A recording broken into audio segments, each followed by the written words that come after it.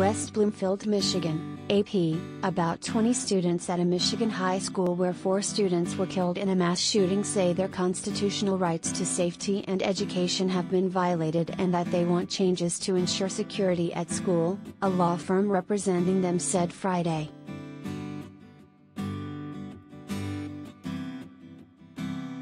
The federal lawsuit filed Friday names the Oxford Community School District, its former superintendent and other officials.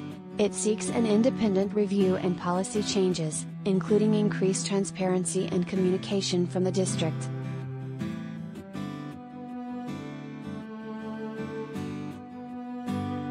The Associated Press sent an email seeking comment from the district.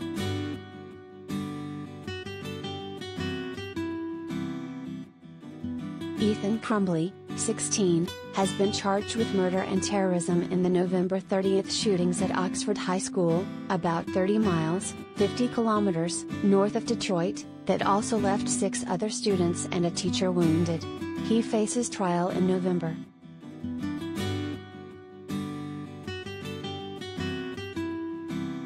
His parents are accused of providing him with access to the gun he used and are awaiting trial for involuntary manslaughter.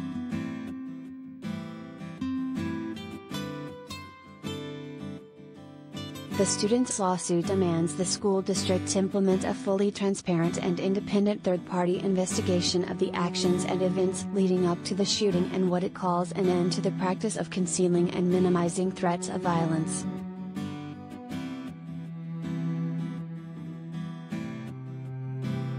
The lawsuit doesn't seek financial damages. Other lawsuits following the shooting have sought millions of dollars, saying that the violence could have been prevented.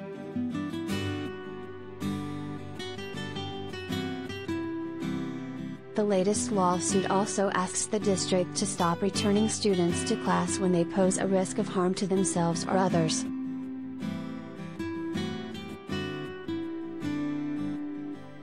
On the morning of the shooting, Ethan Crumbley's parents were summoned to the school and confronted with his drawings of a handgun and the words, The thoughts won't stop.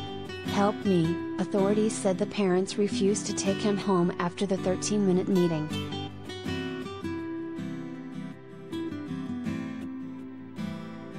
Rumors of threats and threatening behavior in the weeks leading up to the shooting were ignored and minimized by school officials, said Alicia Feltz, whose daughter will be a sophomore at the high school this fall. They desensitized and diminished the threats that walked alongside our children in the hallways.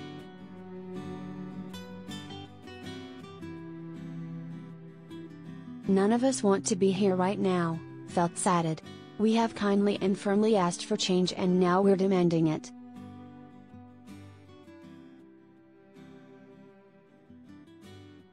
The parents supporting their children in the lawsuit are known as hashtag Change for Oxford.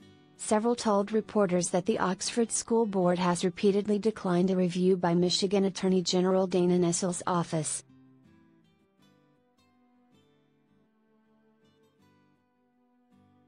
The district announced last month that it was hiring a law firm and an independent investigations firm to conduct its own review.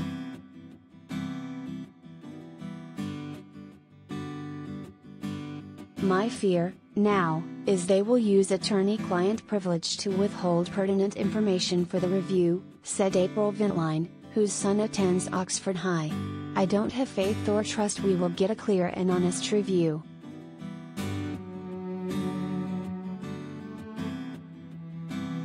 Underscore.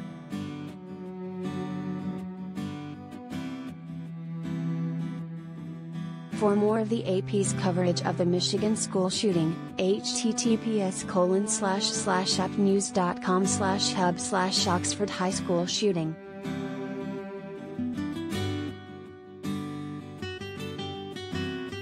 Underscore.